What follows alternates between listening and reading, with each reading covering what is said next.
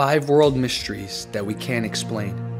Few stories have the power to captivate us more than those that remain unresolved.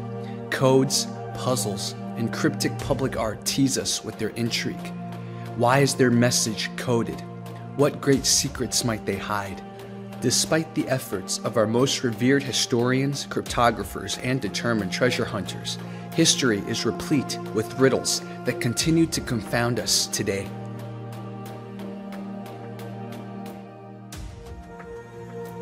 Number 5. The Lost City of Atlantis. Atlantis is a legendary lost island subcontinent, often idealized as an advanced utopian society holding wisdom that could bring world peace. The idea of Atlantis has captivated dreamers, occultists, and New Agers for generations. Unlike many legends whose origins have been lost in the mist of time, we know exactly when and where the story of Atlantis first appeared. The story was first told in two of Plato's dialogues, written about 330 BC. Though today Atlantis is often thought of as a peaceful utopia, the Atlantis that Plato described in his fable was very different. A technologically sophisticated but morally bankrupt evil empire, Atlantis attempts world domination by force. The only thing standing in its way is a relatively small group of spiritually pure, morally principled, and incorruptible people, the ancient Athenians. Overcoming overwhelming odds, the Athenians are able to defeat their far more powerful adversary simply through the force of their spirit. At 4, the wow signal. One summer night in 1977, Jerry Ehman, a volunteer for SETI, or the Search for Extraterrestrial Intelligence, may have become the first man ever to receive an intentional message from an alien world. Ehman was scanning radio waves from deep space, hoping to randomly come across a signal, when he saw his measurements spike. The signal lasted for 72 seconds, the longest period of time it could possibly be measured by the array that Ehman was using. It was loud and appeared to have been transmitted from a place no human has ever gone before. 120 light years away, in the constellation Sagittarius, near the star called Tau Sagittarii. Ehman wrote the words wow on the original printout of the signal, thus its title as the WOW signal. All attempts to locate the signal again have failed, leading to much controversy and mystery about its origin and its meaning. And number three, the Black Knight satellite. This artificial satellite has caused major media interest since the late 50s and has become one of the most talked about objects in space. First thought to be a Russian spy satellite, the Black Knight satellite has gripped the interests of millions worldwide. According to monitoring agencies around the world, the Black Knight satellite has been transmitting radio signals for over 50 years now. The USA and Soviet Union have shown particular interest in this unidentified space object.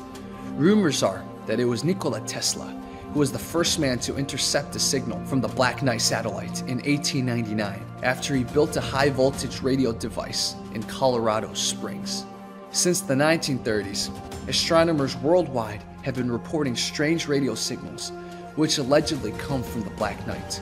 In 1957, Dr. Luis Corrales of the Communications Ministry in Venezuela photographed it while taking pictures of Sputnik 2 as it passed over Caracas. It was the ham radio operator who apparently decoded a series of signals received from the UFO satellite and interpreted it as a star chart centered on the Epsilon Boötes star system.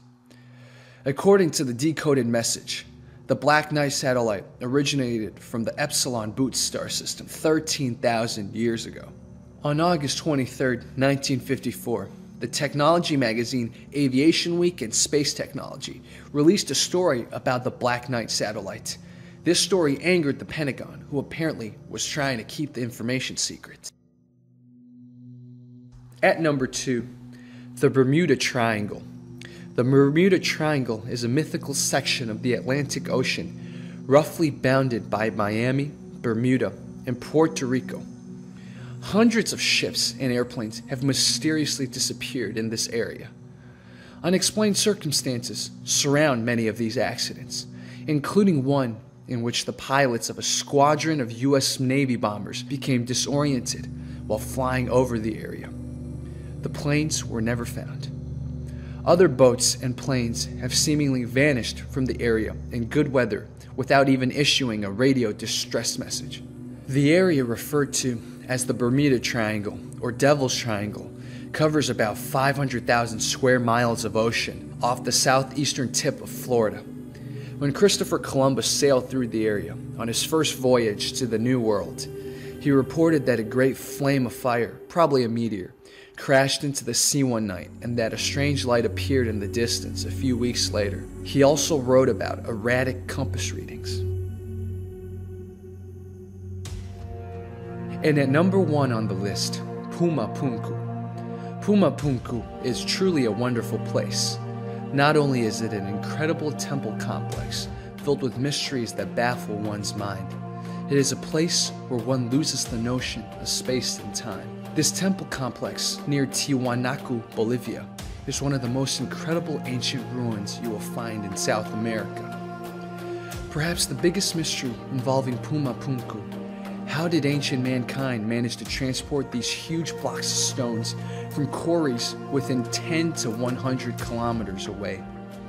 How did they manage to achieve precision cuts? And how did they place the blocks in such a perfect manner? Engineers from around the world today still cannot answer nor replicate these achievements done by ancient mankind thousands of years ago. Another puzzling mystery of Puma Punku is the assembly of the walls each stone was finely cut to interlock with those surrounding stones, and the blocks fit together like a puzzle, forming load bearing joints without the use of mortar. The precision challenges today's engineering abilities. A common engineering technique is to cut the top of the lower stone at a certain angle and to place another stone on top of it, cut at the same angle. The level of masonry we find at Puma Punku is just amazing.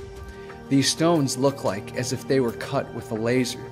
They are so precise and so smooth that you cannot come up with a logical explanation on how ancient man could have achieved this without the use of advanced modern equipment.